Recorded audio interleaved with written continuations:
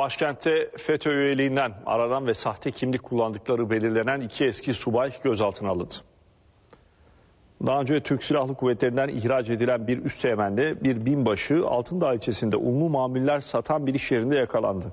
Üzerlerinde Utku U ve Ramazan Ç adına düzenlenmiş sürücü belgesi taşıyan iki şüpheli gözaltına alındı. Yapılan incelemede kimliklerin sahte olduğu, Ramazan Ç adına düzenlenmiş kimliği eski üsteğmen Mümtaz Ç'nin kullandığı anlaşıldı. Mümtaz Ç'nin Kilis Jandarma Komutanlığı'nda görevliyken FETÖ'den ihraç edildiği ve silahlı terör örgütü üyeliğinden arandığı ortaya çıktı. Ekipler Utku U adına düzenlenmiş sahte kimliği taşıyan şüphelinin ise eski binbaşı Özkan K olduğunu belirledi. Özkan K'nın FETÖ'den ihraç edildiği ve aynı suçtan aynı şekilde yine arandığı tespit edildi.